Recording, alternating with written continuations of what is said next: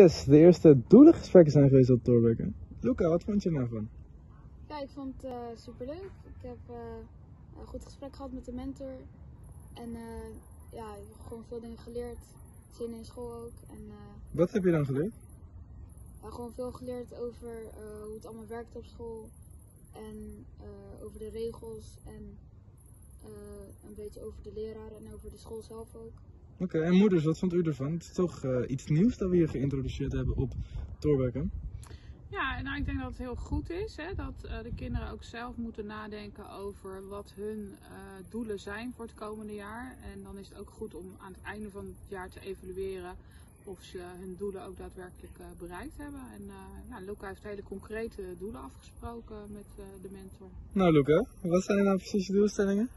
Ja, mijn doelen zijn, ik heb doelen voor de sportkant en de schoolkant.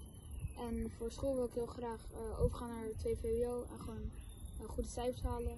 En voor het sport wil ik gewoon heel veel nieuwe dingen leren en verbeteren en presteren.